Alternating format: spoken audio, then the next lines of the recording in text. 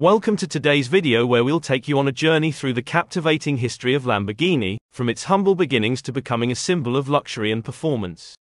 Although today Lamborghini is synonymous with excitement and excess in the automotive industry, this wasn't always the case.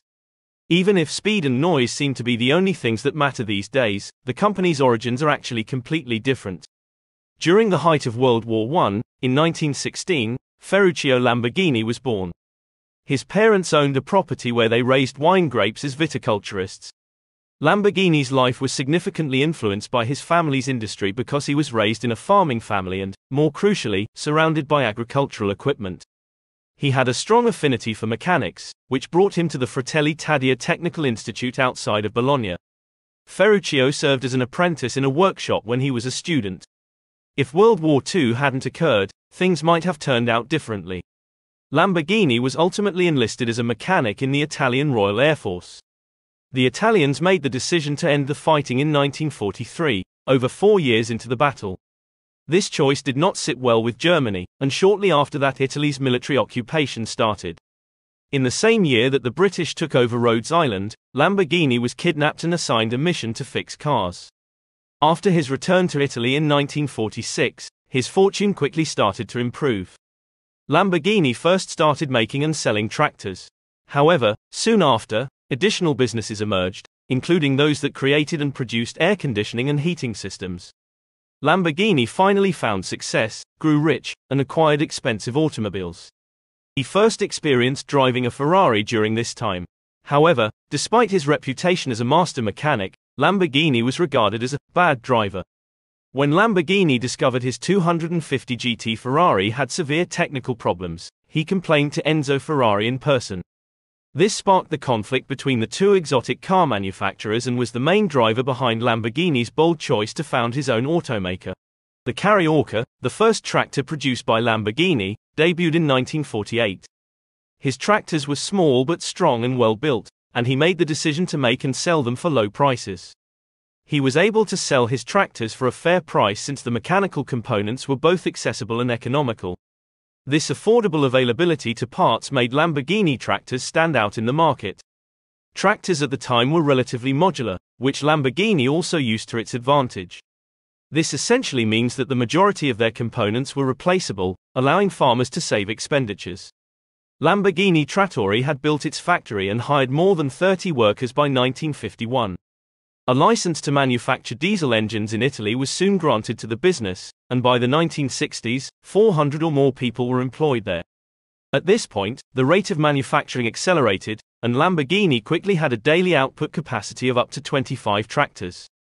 As was already mentioned, the company was successful, and Lamborghini rose to industrial affluence.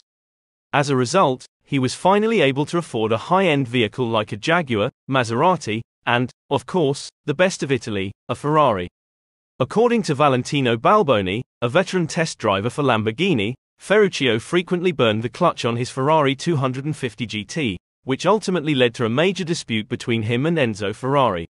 Ferruccio eventually disassembled the Ferrari engine and gearbox after replacing the clutch a few times to discover that the clutch they were using was a manufactured part. Given how costly Ferraris were, Ferruccio was incensed by this and thought it was bad business. Following their conversation, Ferrari claimed that the driver was the issue rather than the clutch. Lamborghini became enraged and promised to produce the best sports car in Italy. Due to his conflict with Ferrari, Lamborghini was inspired to dedicate himself and his business to building Italy's best sports car. His new company took off immediately because he already had the plant to make vehicles. His automobiles bore the names of bulls because of his obsession with bullfighting. According to rumors, Lamborghini never promoted his cars, preferring instead to focus on building a well built fantasy car. But as news spread about the looks and power of his cars, the world embraced Lamborghini sports cars with such fervor that the company quickly became recognizable. The 1970s brought the iconic Lamborghini Countach, which pushed the boundaries of design and performance even further.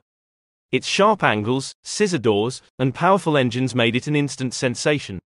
Lamborghini continued to innovate with models like the Diablo and the Murcielago, introducing advanced materials and technology.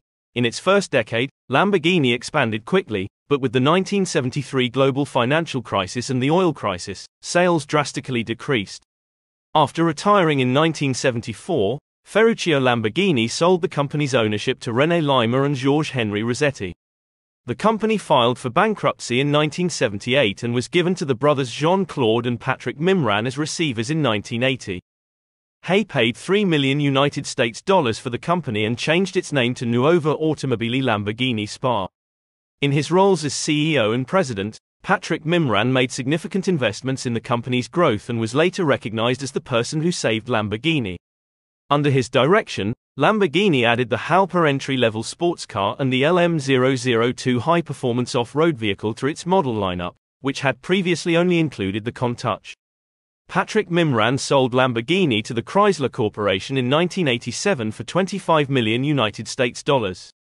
After replacing the Countach with the Diablo and discontinuing the Jalpa and the LM002, Chrysler sold Lamborghini to Malaysian investment group Mycom Setdco and Indonesian group V-Power Corporation in 1994.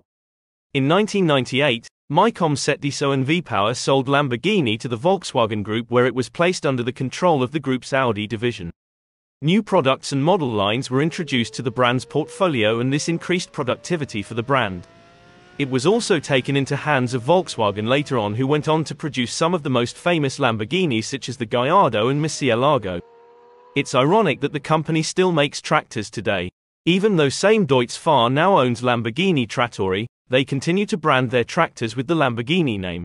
Ferruccio later on died in 1993 but even after Ferruccio's passing, the tradition continued thanks to bulls like Reventon, which defeated young Mexican torero Felix Guzman in 1943, Gallardo, which was named after one of the five ancestral castes of the Spanish fighting bull breed, and Murcielago, the legendary bull who endured 28 sword strokes and whose life was spared by El Lagartijo for his performance in 1879.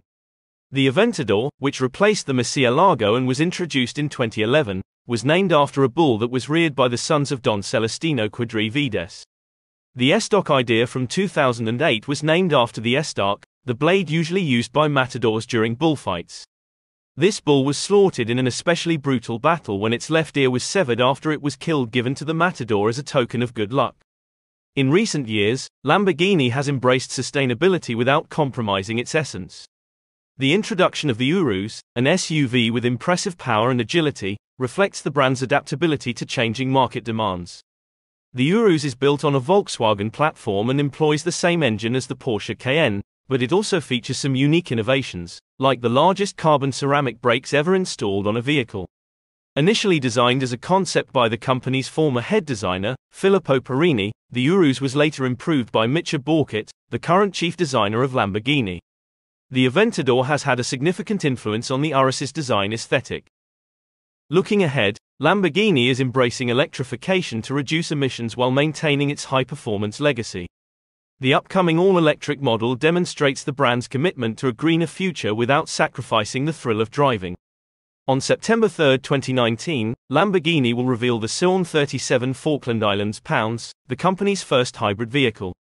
The name's first half, Flash of Lightning, in Italian, was a fitting moniker for the new model given the technology it employed, while the second half, FKP, the initials of late Volkswagen Group chairman Ferdinand Piech, and 37, the last two digits of his birth year, was a tribute to him.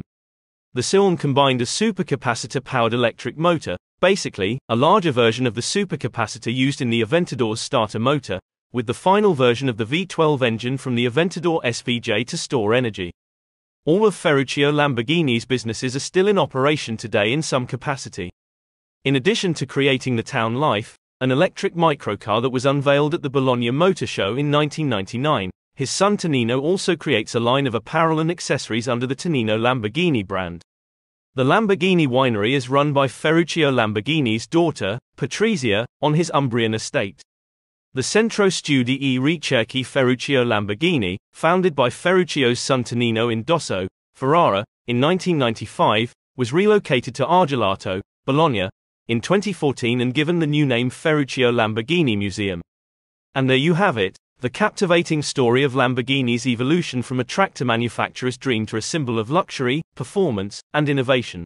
As we eagerly await the next chapter in Lamborghini's journey, let's remember the passion and dedication that have shaped this legendary brand. Thank you for joining us today. Don't forget to like and subscribe for more stories from the world of automobiles. Until next time, Drive safe and stay curious.